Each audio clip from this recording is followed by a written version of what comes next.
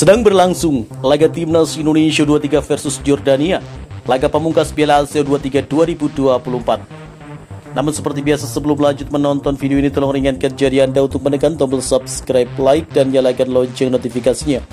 Dan kalau sudah kami ucapkan banyak-banyak terima kasih dan mari kita lanjut. Timnas Indonesia 23 saat ini berada di posisi kedua klasmen Piala Asia 23 2024 Grup A dengan raihan 3 poin. Raihan itu lahir lewat kemenangan Garuda Muda melawan Australia di laga kedua. Timnas Indonesia 23 kalah dari Qatar pada partai pertama.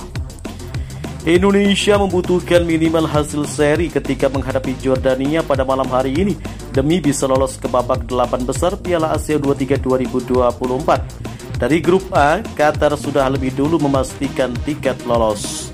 Saat ini Qatar punya 6 poin dari dua laga berkat kemenangan melawan Indonesia dan Jordania. Secara berurutan, sementara Yordania dan Australia ada di dua posisi terbawah dengan raihan satu poin. Jika bisa melaju ke delapan besar Piala Asia 23 2024, Timnas Indonesia U23 akan memenuhi target yang diberikan oleh PSSI di ajang tersebut.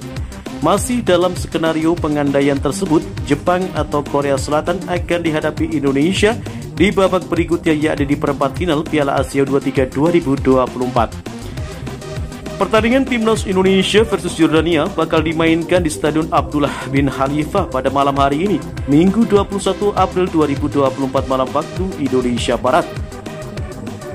Matchday terakhir grup A Piala Asia 23 2024 itu akan dimulai pada pukul 22.30 waktu Indonesia Barat. Dimainkan bersamaan dengan laga grup A lainnya yakni Qatar versus Australia. Jangan lupa saksikan pada malam hari ini laga seru antara Timnas Indonesia 23 versus Jordania, laga penentu atau laga pamungkas. Selamat menyaksikan dan salam olahraga.